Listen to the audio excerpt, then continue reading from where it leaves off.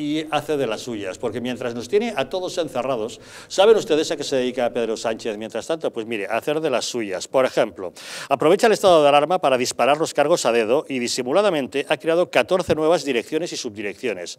Sánchez, en vez de dedicar esfuerzos para hacer test masivos a la población, está aprovechando sus poderes para engordar todavía más la ya abultada estructura de su gobierno.